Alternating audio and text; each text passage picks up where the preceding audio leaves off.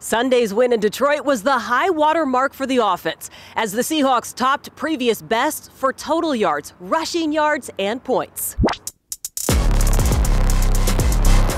Hello, 12s. I'm Jen Mueller with your Seahawks Daily. And the 48 points scored by Seattle was more than in the previous three games combined. It's really consistent um, pass protection wise.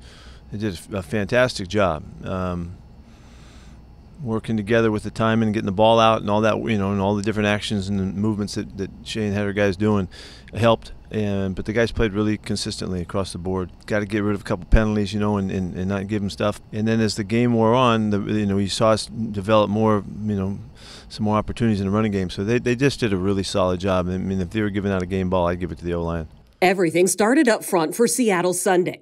235 of the 555 total yards came in the running game. In addition, the O line did not allow a sack on 30 passing attempts from Geno Smith, whose 77.3 completion percentage leads the league. We're protecting the quarterback well, better than we have in past years, and uh, we're, we're we're expecting to continue to get better too. So because we know they're just getting started, you know. So so a very very positive thing for us, and and uh, I'm really happy for those guys. They're having a blast. You know, they love playing and they're excited about it, and um, so it's it, it's a it's all good.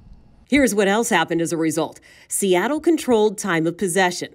The Hawks had the ball for over 33 minutes, a key number against a Detroit team that wouldn't go away and scored 30 points in the second half. We got to get better at our stuff. We got to get more consistent because what, what's happening is is the the explosive plays are affecting drives as they always do. You know, there's always, you have an explosive play that the odds of scoring points goes way up and uh, that's really that's the big concern right now. We came out around okay on third down numbers. We didn't do well in fourth down, but we did we did okay on third downs. But the uh, the explosive plays are giving them all kinds of opportunities that we can't give up, and those are you know one thing or another. It's not any one thing. It's not the coverage that we're playing, or it's not the style of stuff, or any of that. We just have to execute better and uh, not not give up the the yardage we're giving up.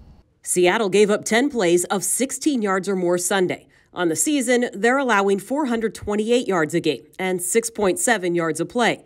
Better tackling and awareness is needed to improve those numbers. Situational tackling is what we're talking about.